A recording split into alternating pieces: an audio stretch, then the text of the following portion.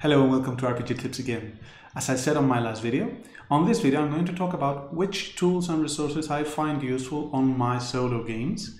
And I know I promised that I would explain the tools that I have created, but I've decided to split that video into two, this one and the next one, so I can here show you a barrage of tools and a myriad of things that I use for my games and rapidly talk about them. So if you find something that you find useful or attractive, you can quickly get into it. And in the next video, more relaxed, I'll be able to explain the tools that I have created and how I play my solo game.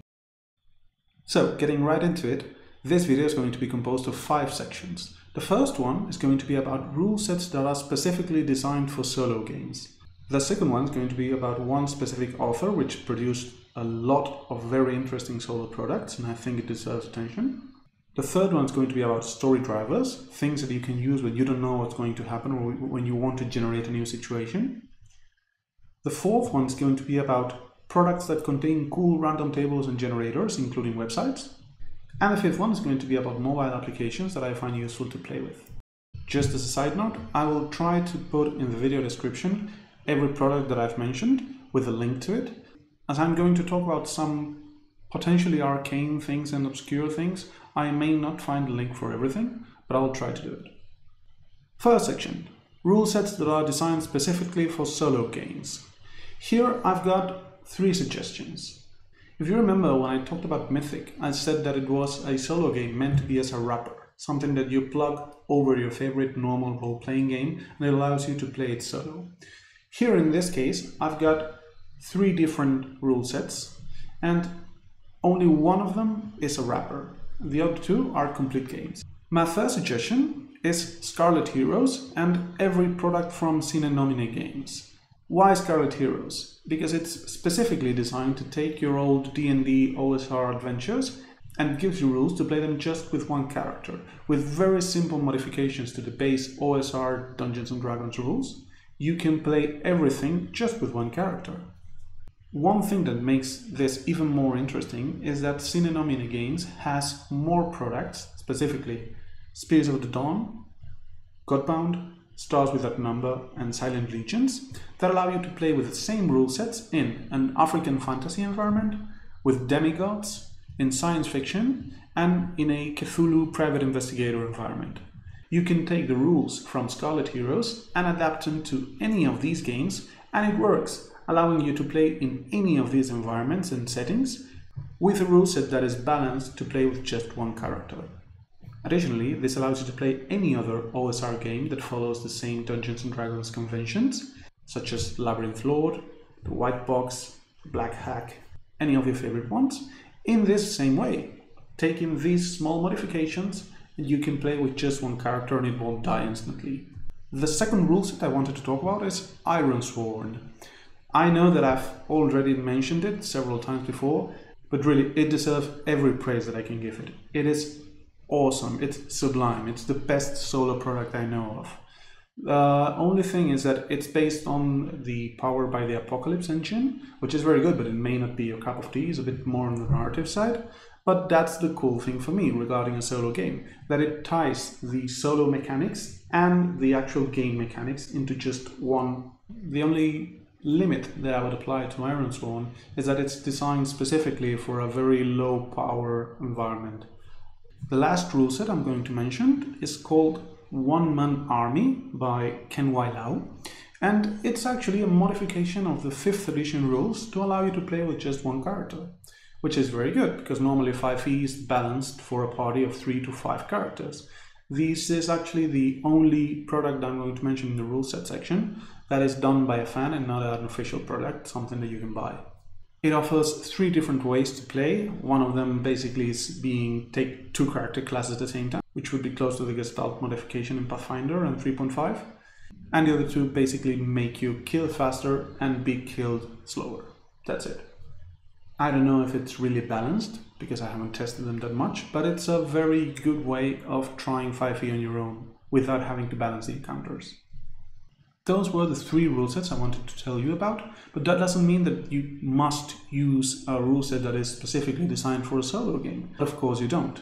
The beauty of the wrapper games like Mythic is that you can plug them onto any RPG you want and play them as is. These rule sets are just specifically balanced so you don't die instantly because normally most RPGs are balanced for a party of 3 to 5 characters. So if you want to play, for instance, the Warhammer Fantasy role-playing game, which I will probably end up doing in my channel, you can do it with Mythic. You just have to be aware that you're probably going to die horribly and very fast. Does this mean that you cannot use them? No, of course not. Just be aware of what you're doing. Either homebrew something that makes you more durable, or balance the encounters you find so that you don't die instantly and horribly. The second category I wanted to talk about today is actually every product from one editorial, which is called Conjecture Games, and it's actually just a product of one mind, the mind of Zach Best, which sadly passed away, but his legacy lives on. I've got four products from him. The most well-known one is called the Universal NPC Emulator, or UNE, or UNI, UNE, I don't know how to pronounce it. But it's a very, very good tool to generate NPCs on the fly, and not only their personalities and appearances, but also what do they talk about, which is something that we usually struggle in, in our solo games. The other three products I have are Bold, the Book of Deeds and Legends, which serves to create backstories and histories, the conjectural role-playing GM emulator, which actually is just a substitute of Mythic, so I haven't used it that much, and the ISC, the Inferential Scene Crafter. This one would be the equivalent of the Adventure Crafter. It allows you to generate opening scenes. I really want to emphasize it. I've just glossed them over. I've been very fast because I want to cover a lot of things. But really, check out the Universal NPC Emulator. It's very good and it's going to improve your solo games for sure. Now, the third category of products is the story drivers, the things that we use when we don't know how to make the story progress or advance so we turn to randomness to generate some things. Of course, you could always just roll in some random table like the event meaning in Mythic to answer the question, what happens now? But these products go a bit further. They are useful not only to generate what's going to happen now, but also to give your story a more cohesive structure. The first product, of course, and now we'll expand it on its own video, is the Adventure Crafter on the Mythic series, but I haven't talked about it yet. The second product is the nine questions method by John Fiore. And it's actually a very good way of structuring your game if you want to play something very fast that concludes and is cohesive. The way it does this is by structuring your game in nine setup scenes and in each of them you answer and structure the scene around one specific question. So for example, the first question may be What actions consistent with the heroic motivation do the heroes take that bring them into conflict with the looming hostility inherent within the setting? Then you have to first be the PC you choose if you're going to be defiant, if you're going to infiltrate, if you're going to pursue, or if you're going to combat something that will bring you into conflict with something else. Then you use a random idea generator to generate the scene and you play it out. Then you move to the second scene and the second question is, what unusual event occurs soon afterwards? As you can see, this is actually guiding you to specifically answer the things that make your story structured and cohesive. So again, if you really need something that forces you to have an introduction and a conclusion, this is a very good method. The third story driver is called Perilous Intersections by Rory Brace Buckle, which is a name that may ring a bell for some of you. He was the guy behind the incredibly famous Rory Story Cubes, which are actually a very good idea generator if you're more of a visual oriented guy. And Perilous Intersections is actually inspired by both the Mythic system and the Nine Questions method. In fact, one could say that this is kind of like the big brother of the Nine Questions method, because it not only frames the scenes in a specific way, but it has scene sets, different story phases, and it forces you to answer a specific question about the story at the end of each scene. So it's actually driving the story to a conclusion every scene. It's very good. It's a bit more complex and it frames the story a bit more than the nine questions method. So if I had to sort the three story drivers I've talked about, the adventure crafter, the nine questions method, and perilous intersections, I would sort them in terms of complexity, going from the adventure crafter to the nine questions method to perilous intersections, in terms of how the story is framed and driven. The Adventure Crafter is very good and very simple just for generating scenes or plot points, but it doesn't have a cohesive framework in you in which your story is generated. The nine questions forces you to a set of nine different scenes but it's just that, and it forces you to answer one specific question per scene, while Perilous Intersections is a bit more complex, but a bit more diverse too. It allows you for a bit of leeway in terms of how the story goes. That way you can choose which product fits your way of storytelling. We've reached the fourth section of the video, which I've named Cool Random Tables and Generators. Of course, if I wanted to tell you about every random table and generator there is in the internet, I would die. First, I have to go back to the two first rules that I've talked about, Sine Nomine and Iron Sworn. Both, well, Sine Nomine is actually four or five different products, but these two have extremely good random tables. Sine Nomine is actually characterized by its outstanding support for sand, sandbox type games, in which everything is generated by a random table normally.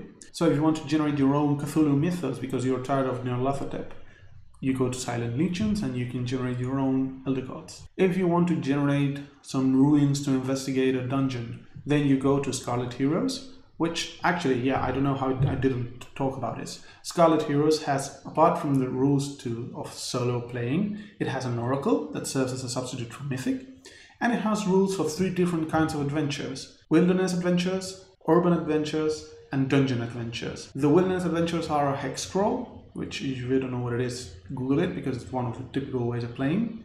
The urban adventures are actually framed with a very extremely good way of structuring how the story goes with points for the adversary and points for you.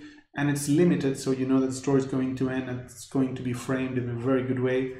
The only limit it has is that the random table it has are for the asian environment that it's set in but you can adapt them to whatever you want. Really check them out. They are extremely good.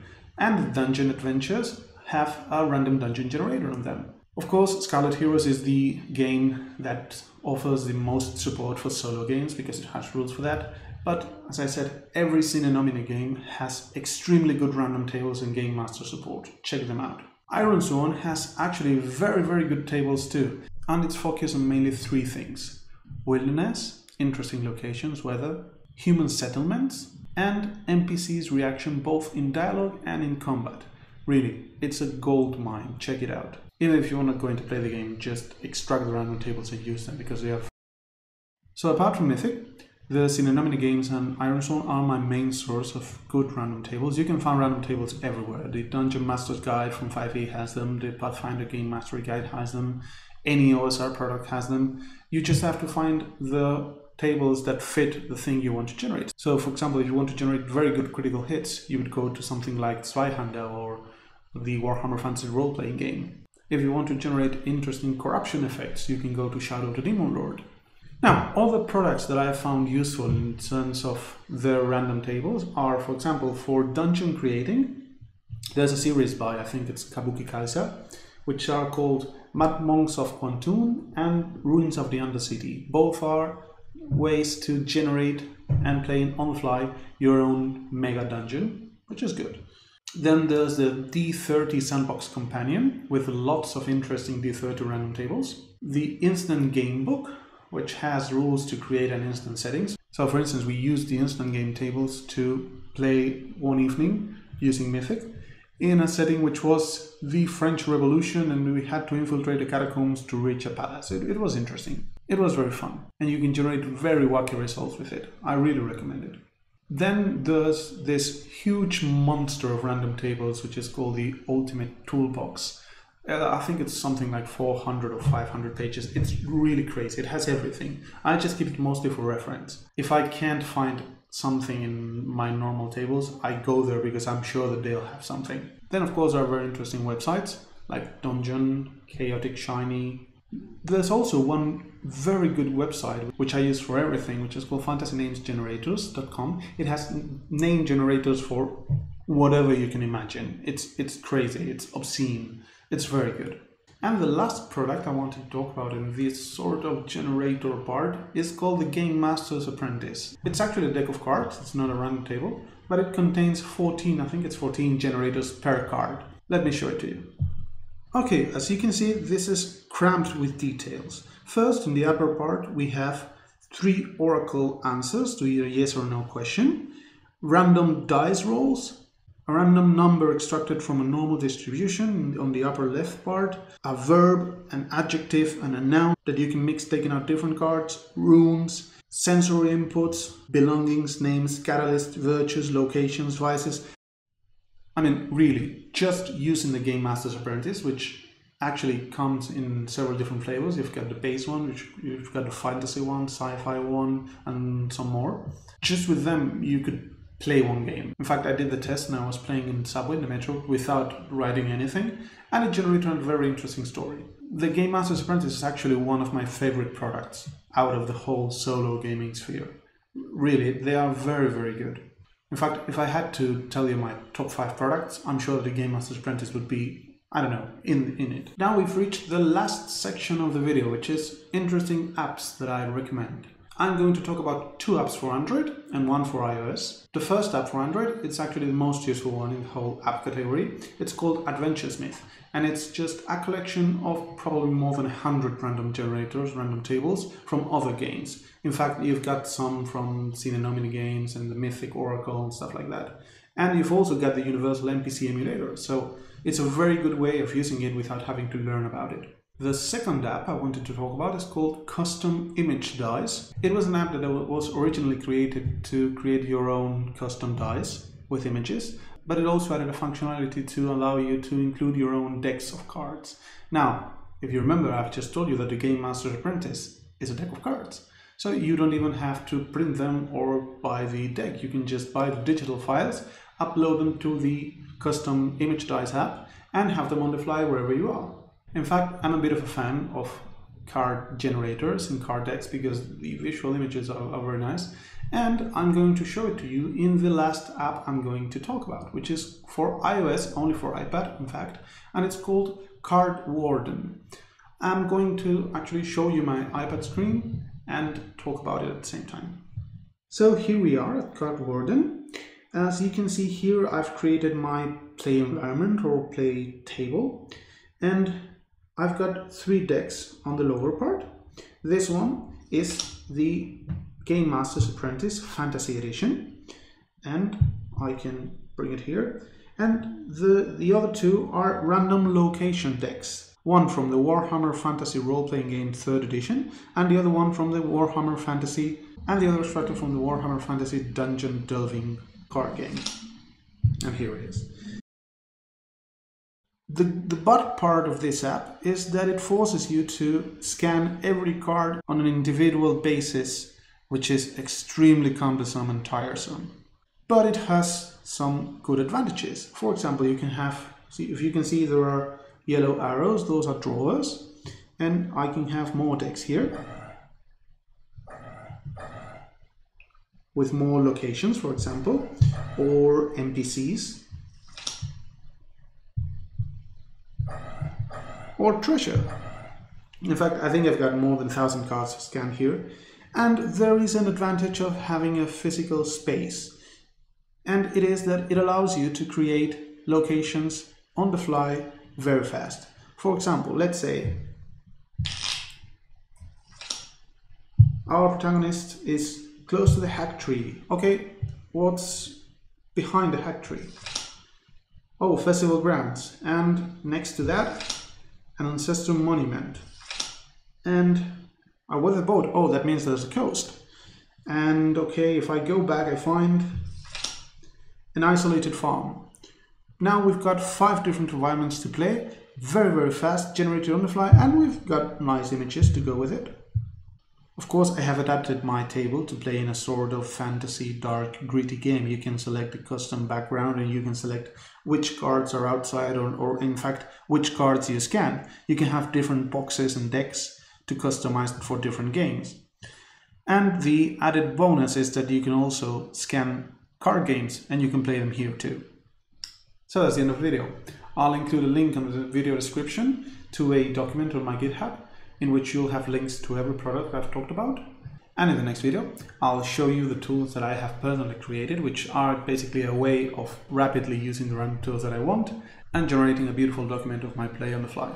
Now, my intention with this video, as I said at the beginning, wasn't to explain everything in great detail. What I wanted was to show you a range of things And please, if there's interest in me explaining one specific product in more detail, then either you can hop by the Discord, the Mythic GME subreddit, or you can leave a comment on the video, and I'll be extremely happy to share with you my experiences with it. As always, I hope you've learned something, I hope you had fun, and I hope to see you again in the next video.